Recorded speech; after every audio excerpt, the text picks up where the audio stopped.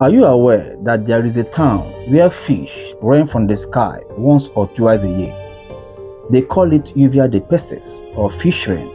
This happens between June and July, sometimes April every year. Between this time, a mysterious event happens as fish rain from the sky.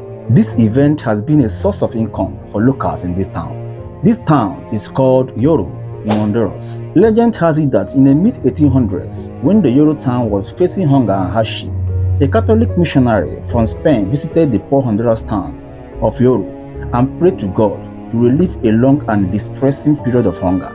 Soon after, for the first time, something astonishing happened. Fish began to rain from the sky, and that was how it had been happening yearly to date. This mysterious rain often falls in the middle of the night, sometimes in the daytime.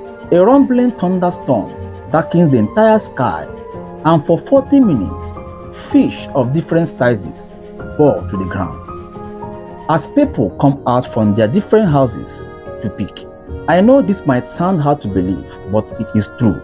Though scientists claimed that water spouts like columns of air suck up the fish from the ocean and sling them into Yoro town. But my question is why must it be in Yoro town that this fish rain is happening? Does that mean that other towns don't have an ocean? This made me believe and tag this mystery as a miraculous mystery. And besides, people in your town see this as a blessing from God, and I believe them. What do you think about this? Do you think it's a miracle or a natural occurrence? I want to see your comment in this video. Hold on. What do you know about this channel? This channel is for information, history, entertainment, and motivation. Make sure you are following me and don't forget to share my videos. Remain blessed. See you in my next video.